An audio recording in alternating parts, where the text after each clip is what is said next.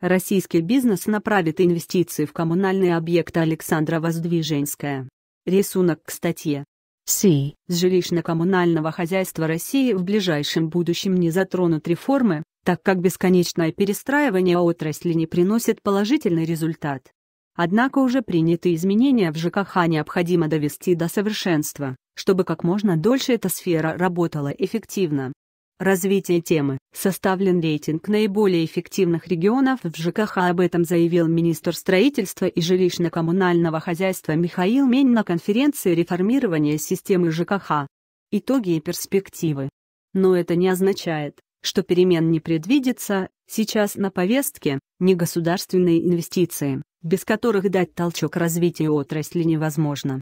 Это наглядно демонстрирует мировой опыт, рассудил Михаил Мень. Также предстоит большая работа по решению вопросов с тарифами. Так, Аркадий Чернецкий, который занимает должность зампреда Комитета Совета Федерации по федеративному устройству, региональной политике, местному самоуправлению и делам Севера, во время дискуссии с министром обратил внимание, что, к примеру, цены на воду всегда остаются в сфере компетенции местных властей, поэтому часто кубометр воды в удаленных друг от друга регионах страны стоит по-разному. Расставить все точки над I. мог бы тарифный скачок, проведенный в один этап. Это решит вопрос цен на годы вперед. Среди прочего сенатор предложил вводить не максимальную стоимость по тарифу, а минимальную, чтобы дисциплинировать некоторые администрации. Михаилу меню инициативы понравились, он пообещал, что в ведомстве их обсудят. Граждан интересуют не столько отдельные тарифы, сколько то, какую им в целом нужно выложить сумму за услуги ЖКХ, напомнил министр. И добавил, что в этом гражданам и государству помогает введение совокупного платежа, который привязан к инфляции. А долгосрочное тарифное регулирование полноценно заработает с 2016 года.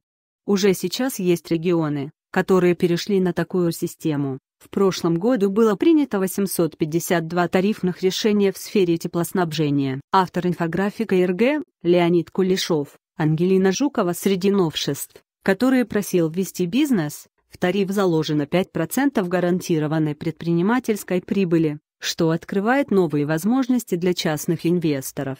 Пока будет вводиться в действие государственно-частное партнерство, ГЧЭП, в сфере ЖКХ, регионы утвердят комплекс мер для преобразования отрасли. Уже идет оценка состояния муниципальных предприятий, уточнил Михаил Мень.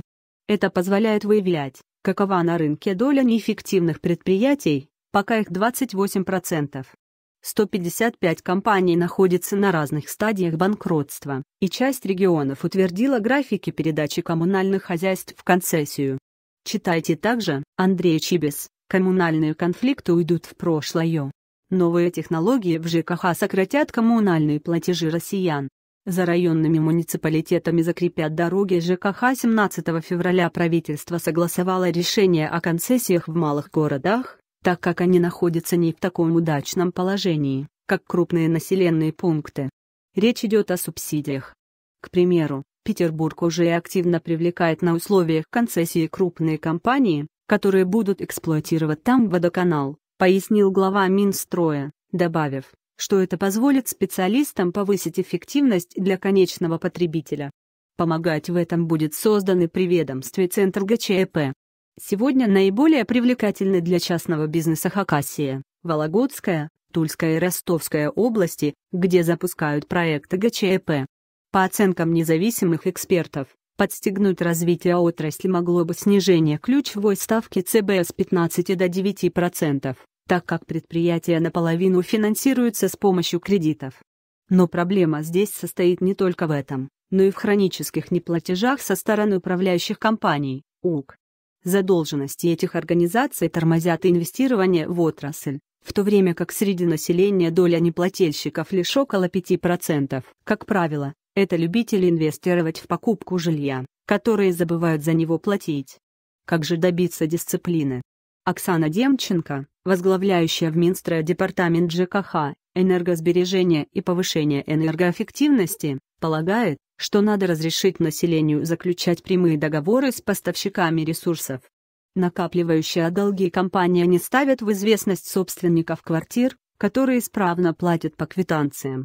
Необходимо ввести за это ответственность, вплоть до отзыва лицензии, а также решить, как поступать с недобросовестными квартирантами, уверена она. Также в Минстрое обсуждается объединение системы индивидуальных приборов учета электро- и водоснабжения. Если бы они были не в частной собственности, а в муниципальной, то проблема учета ресурсов могла бы решиться в короткие сроки. Управлять многоквартирным домом – процесс не менее сложный, чем рулить крупным водным транспортом, напомнил Михаил Мень. Но у сферы ЖКХ есть одно важное преимущество – она вечна и никакие трудности ее не пугают.